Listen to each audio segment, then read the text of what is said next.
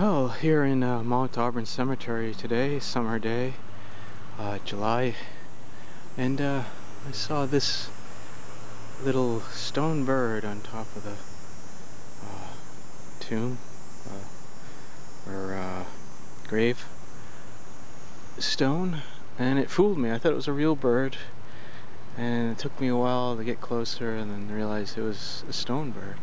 That's kind of a nice touch. Well, there you go. Kind of cool.